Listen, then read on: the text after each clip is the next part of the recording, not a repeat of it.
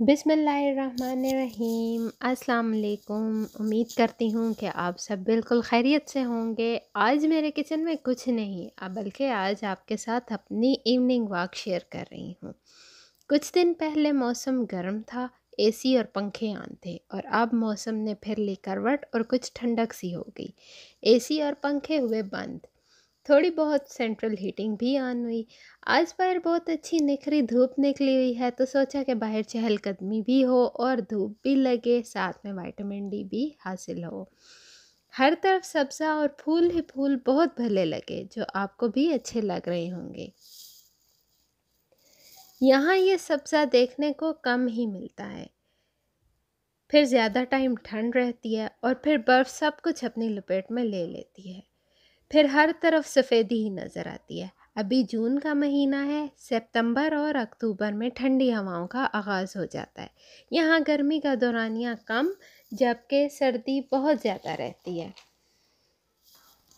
हर घर के बाहर बहुत प्यारे फूल खिले हुए हैं, जिनमें ज़्यादातर गुलाब के फूल हैं। और गुलाब तो आपको पता है कि वो कितना ही अच्छा लगता है खिला खिला सा हो, चाहे वो कलियाँ हो, चाहे वो खिला हुआ फूल हो, बहुत ही अच्छा लगता है। धूप के साथ साथ हवा भी चल रही है और जो बहुत अच्छी लग रही है। जैसा कि हम सब जानते हैं कि कोविड नाइन्टीन ने पूरी दुनिया को अपनी लपेट में ले रखा है। बहुत से ममालिक ये में ये वबा अपने अरूज भी है। इसी तरह कनाडा में बहुत से प्रोविंस ओपन हो रहे हैं। जबकि हमारा शहर विंडज़र और टोरंटो अभी ओपन नहीं है।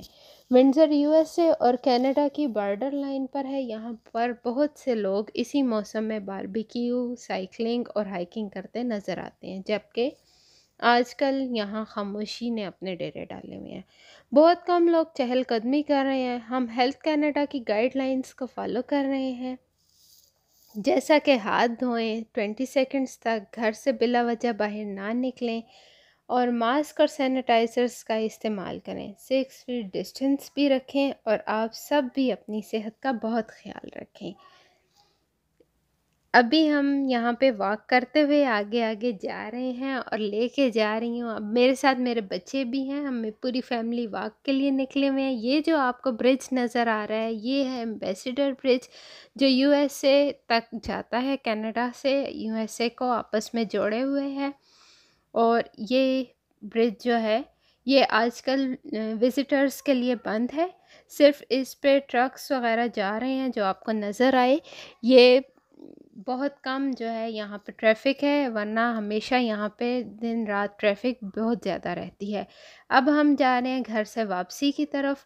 और रास्ते में एक चाइनीज़ स्टोर था जिन्होंने थोड़ी सी डेकोरेशन की थी अपने स्टोर से तो मैंने बाहर विंडो से उसका कैप्चर लिया जो आपने देखा। ये जो ग्रीनरी आप देख रहे हैं, ये मेरे घर की वो बैक साइड थी जो जंगल है और ये वो सारा घना जंगल था।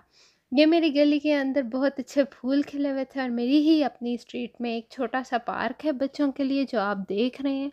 इस पार्क के झूलों के ऊपर जो है वो येलो कलर की अगर आपको नज़र आ रही हो, एक रिबन सा लगा हुआ है, जो कि आजकल हुकूमत की तरफ़ से जो है ये सब झूले बंद किए हुए हैं, ताकि कोई बच्चा या आप देख रहे हैं पार्क में कोई बच्चा भी नहीं है, बिल्कुल खामोशी है।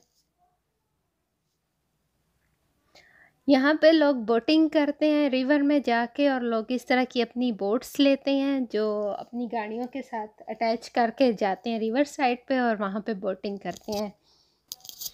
अब हम आ गए हैं अपने घर की तरफ़। उम्मीद करती हूँ कि आज की इवनिंग वॉक आपको अच्छी लगी होगी। लाइक शेयर एंड सब्सक्राइब ज़रूर कीजिएगा। कमेंट कीजिएगा। मुझे फॉलो कीजिए इंस्टाग्राम पे और मेरे फेसबुक पेज पे। अल्लाह हाफिज़।